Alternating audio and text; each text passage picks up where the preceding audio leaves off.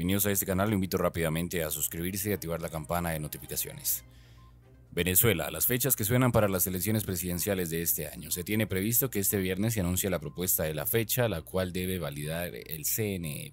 No olvide dejar un comentario en este video y me gusta también para apoyarnos. Muchísimas gracias.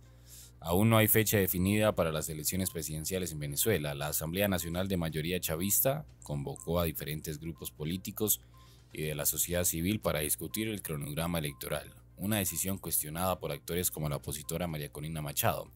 Machado está inhabilitada por 15 años para ejercer cargos públicos.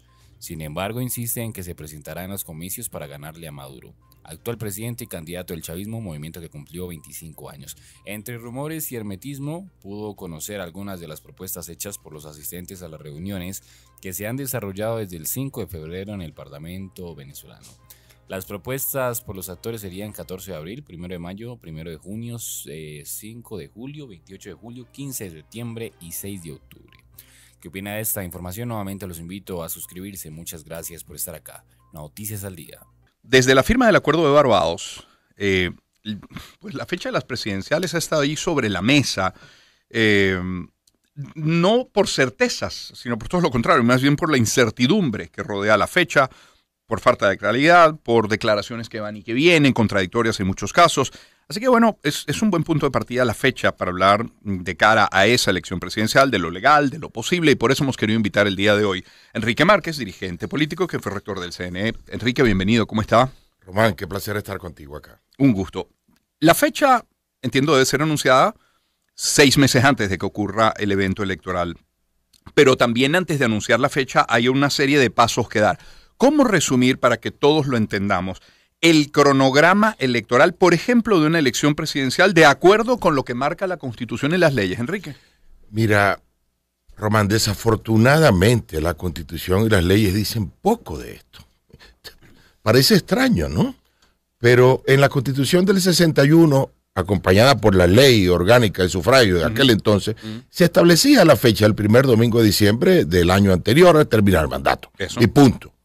Eh, y no había discusión. Eh, en este caso no.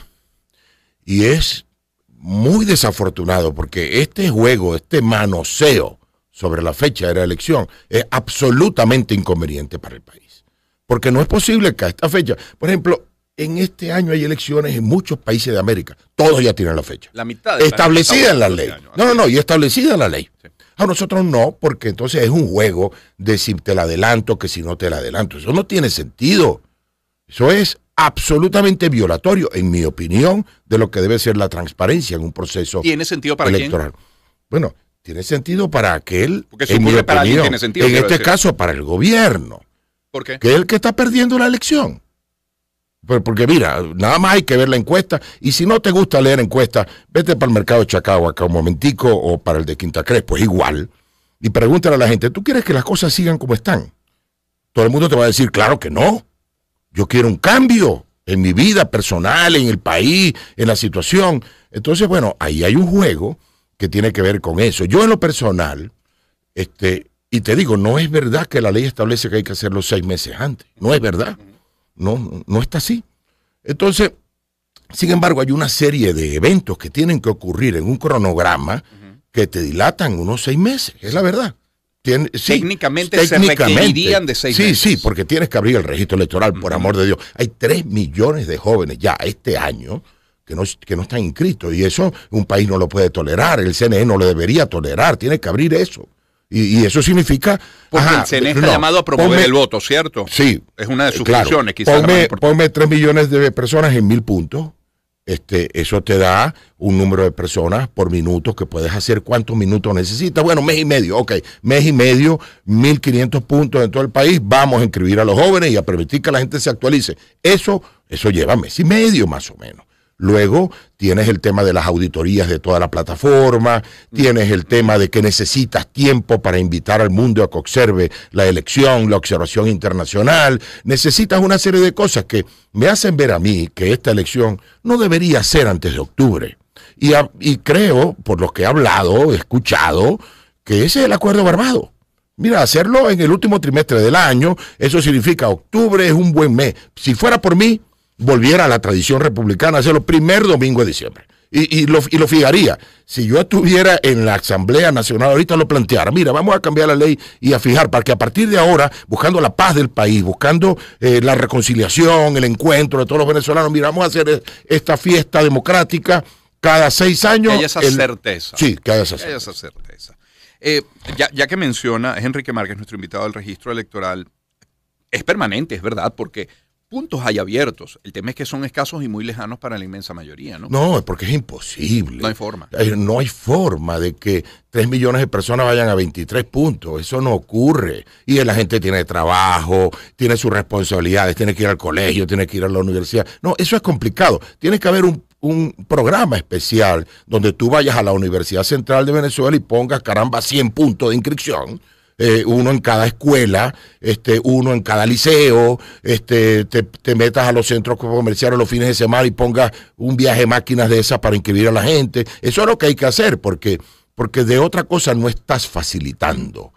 En mi opinión, eh, hay una deuda terrible y el CNE tiene que pagarla, porque a nadie le sirve, fíjate tú, que esto esté así.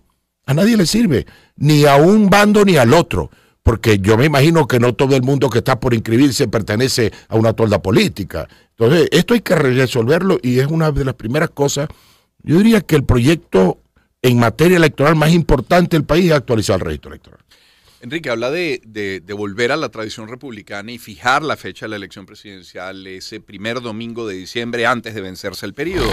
Sin embargo, lo que ha ocurrido esta semana es que se ha convocado a un, a un- gran debate nacional, en el que por cierto faltan algunos de los principales actores, eh, para, para elaborar un- una especie de cronograma a ser presentado luego ante el Consejo Nacional Electoral. ¿Tiene sentido? Mira, en mi opinión no tiene sentido, pero respeto las iniciativas. Yo no, eh, me parece que la Asamblea puede hacerlo, eh, no está haciendo nada malo, ¿ok? Está discutiendo, está abriendo un debate, me, me parece bien, pero eso lo tiene que, o sea, si yo hubiera estado del lado del gobierno, hubiera dicho, mira, que esto lo haga el CNE, que el CNE llame a los partidos, llame al, al- al poder electoral, a los partidos, a los líderes del país y le diga, y acabo de botar el No vaso de agua, nada. este, Palabra y, cierta. Y le, diga, y le diga, mira, yo quiero que vengan acá a, a consultarlo, ¿verdad? Y de una vez, y, y- y- y le explica cuáles son las leyes, y le explica cuál es, cuál es el marco en el cual el poder electoral está evaluando el proceso electoral de este año. Porque, a decir verdad, ¿Cómo queda el CNE?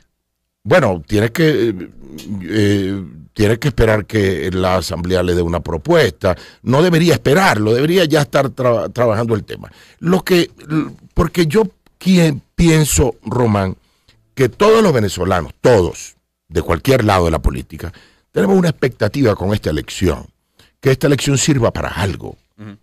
Porque nadie está viviendo bien en Venezuela ¿Para qué debería servir? de- debería servir para que la crisis política tenga un final y esto sea, a lo mejor no sería el final de nadie, ni de ningún partido, ni nada, sino el inicio de una buena relación política entre los actores políticos en Venezuela. Para que ello ocurra, ¿cómo, ¿cuáles son las características de esa elección? Bueno, yo creo que debe ser convocada con suficiente tiempo, creo que debe abrirse el registro, creo que debe este, informarse adecuadamente con tiempo los centros de votación que van a estar abiertos, creo que debe permitirse campaña a todos los candidatos, creo que debe haber la posibilidad cierta de una observación internacional, creo que tiene que hacer las cosas por, por ejemplo, la elección del 21 se acerca a eso, se acerca a una buena elección.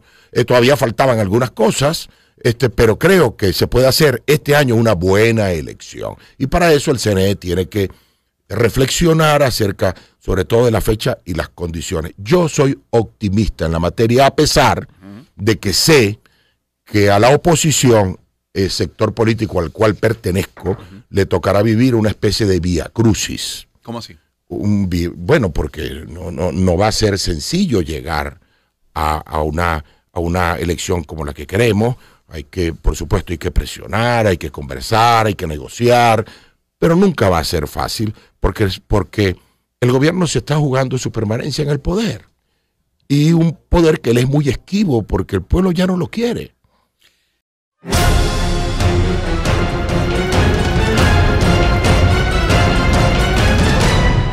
Si no te quieres perder de los últimos acontecimientos que pasan en el mundo, suscríbete y activa la campana. Somos Noticias al Día.